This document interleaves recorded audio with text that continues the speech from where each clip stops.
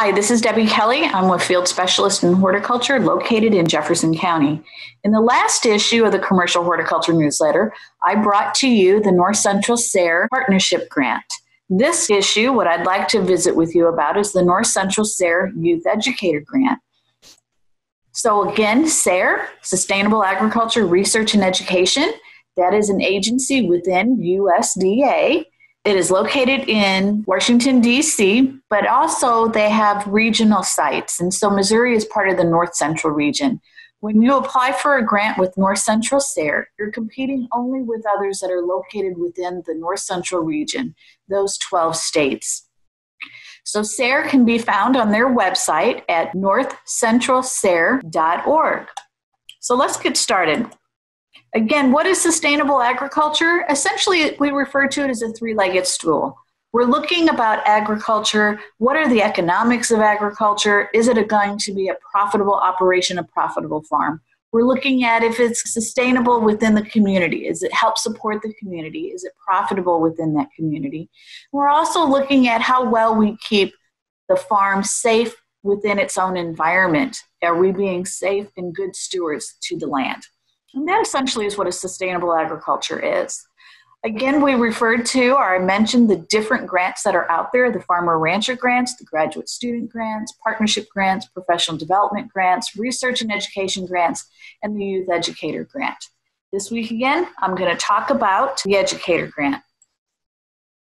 So, what is the youth educator grant? Technically, what it is classified is anybody as an individual who is going to be providing some sort of education or learning to the youth of the community.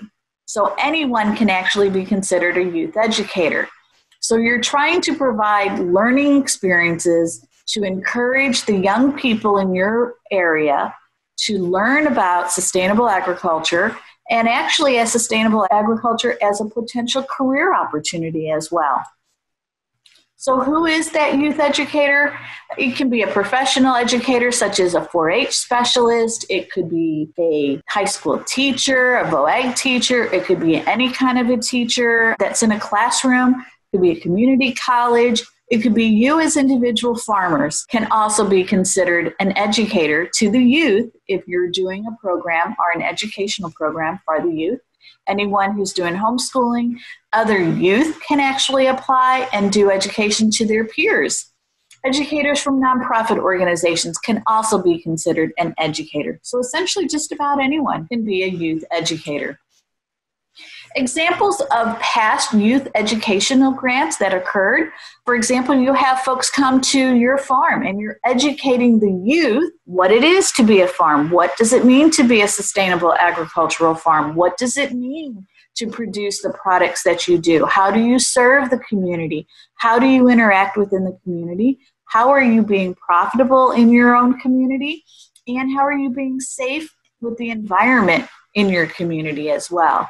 Maybe you're helping the local school or our local uh, church, or even perhaps a, a daycare center was starting their own gardens. And how do you teach to them? What kind of programs and education can you provide? What experiences do you have that you can share with the youth in your community? Perhaps you have a youth where you can organize a farmer panel, the youth that you're working with, can organize their own farmer panel and they can learn topics of interest that they might find that they would like to learn about. Education about our local food systems. There's a lot of kids that think chocolate milk comes from chocolate cows, and we know that that's not necessarily the case. Maybe taking some of the kids, teaching them what about about local food, how to grow their own food, and then taking them to a local farmers market and showing them what it is to see other individuals besides you who are also producing food for the folks in the community. Maybe you can do an ag film festival where you invite the youth to come to your farm and you have a, a, film festival, a couple of different films. And there are films out there dealing with about sustainable agriculture. I know I've seen quite a few out there, especially when it comes to bees and how to uh, work with bees and how to be safe within the environment to keep our bees safe.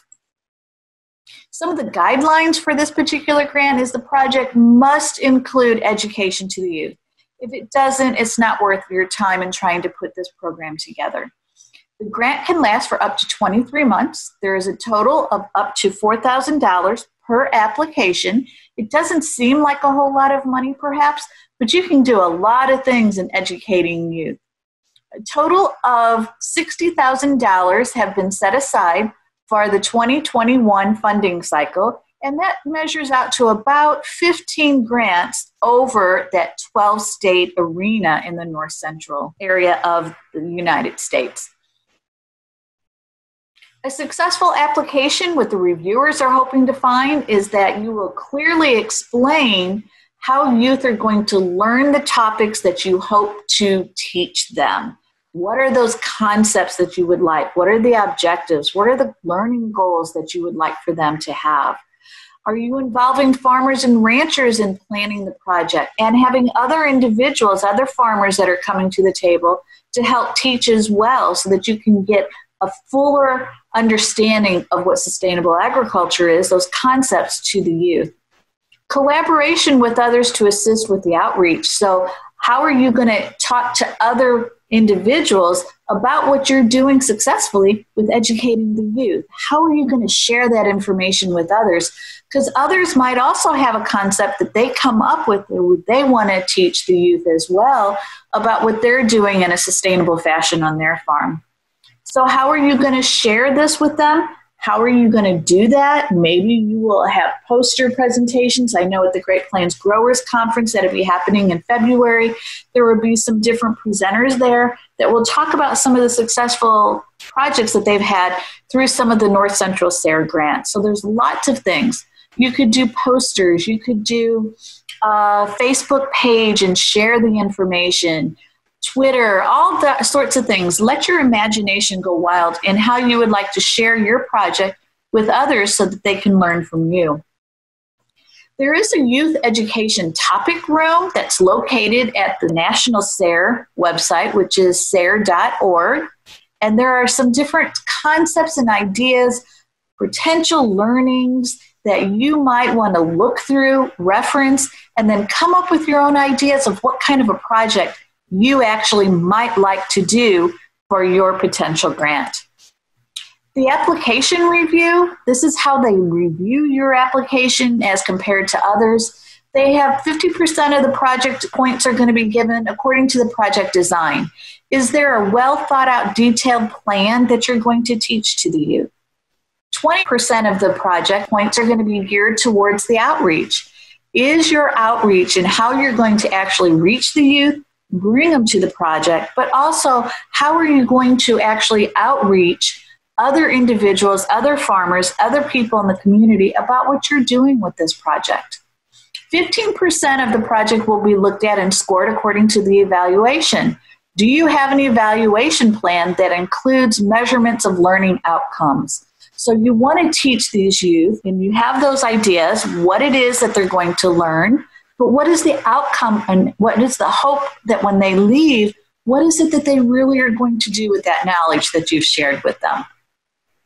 And then 15% of the review application is actually going to be on the project leader and or the team that you've put together.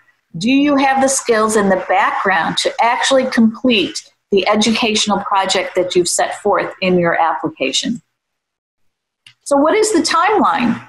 You actually will do the submission online, and it's due November 12th of 2020 by 4 p.m. and that's Central Time. And you can go out to the northcentral.sare.org, grants, apply for a grant, and youth educator grant. And that is going to be where the application is, the RFA, the referral for application, all the details will be there. Once your application has been reviewed, you will be notified in mid February of next year, and funds should be available sometime around April for you to actually get started on your project. So, if you want more information about the SARE Youth Educator Grants, you can talk with Dan Downey. He is the SARE coordinator for the University of Missouri. Or you could talk to Dr. Touria Eaton. She's the SARE coordinator for Lincoln University. Your information is up here, so you can give them a call or you can email them share your ideas with them so that they can kind of help you fine tune your project so that you can be successful with your submission.